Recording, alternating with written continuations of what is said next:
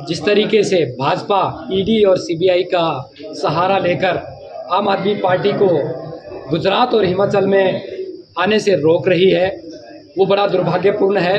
और आपके माध्यम से मैं ये बताना चाहता हूँ कि आम आदमी पार्टी डरने वाली पार्टी नहीं है, क्योंकि ये कट्टर ईमानदार लोगों की पार्टी है।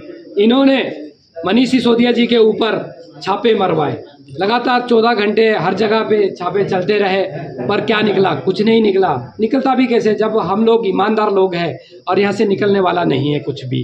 ये लाख कोशिश कर ले। उसी तर्ज पे पिछले आ, इसकी मैं आपको बताना चाहता हूँ कि जैसे ईडी और सीबीआई की जो रेड है वो 36 अलग अलग लोकेशनों में पंजाब और दिल्ली में 500 से ज़्यादा रेडें इन्होंने करवा ली है। कुछ नहीं निकला। सिर्फ़ और सिर्फ़ एक मकसद है आम आदमी पार्टी को और आम आदमी पार्टी के पदाधिकारियों को काम करने से रोकना इनका मकसद है।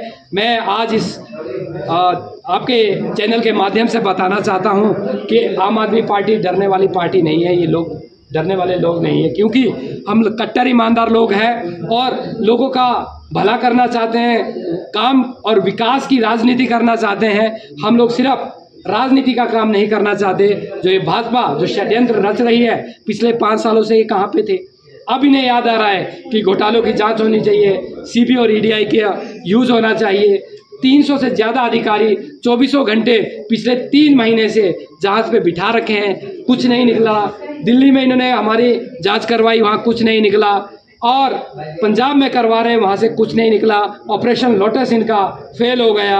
अब इनको सिर्फ़ एक ही डर सता रहा है कि सत्ता हमारे हाथ से निकल रही है। तो अब जो हमें डराने वाले लोग हैं, वो खुद ही डरने लग गए हैं। अब उनको ये डर सता रहा है कि सत्ता अब हमारे हाथ से निकल रही है।